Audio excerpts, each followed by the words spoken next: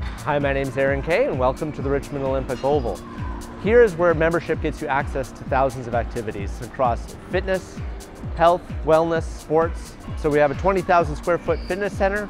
We have access to four fitness studios with group fitness classes, over 40 classes a week.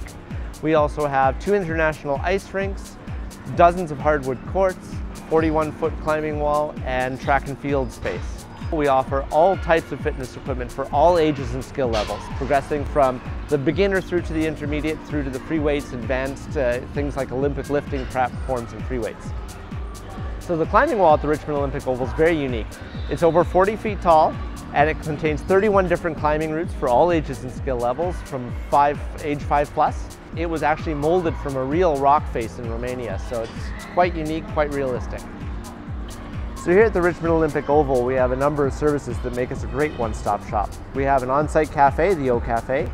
We also have LifeMark Sport Medical on site. We have a pharmacy and we have a family practice medical clinic as well.